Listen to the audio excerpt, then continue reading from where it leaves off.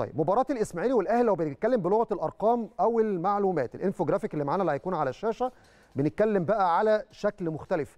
الأهلي بيستعد إزاي؟ الإسماعيلي بيستعد إزاي؟ الإنفوجرافيك بالنسبة للفرقتين مع بعض وإحنا بنتكلم على انطلاقة الدوري العام. مثلا الأهلي بيقوده مثلا المدير الفني بيتسو موسيماني والإسماعيلي بيقوده أيضا كمان طلعت يوسف ومش هيكون النهارده موجود. نشوف مع بعض على الشاشة الانفوجرافيك بالنسبة للفريقين.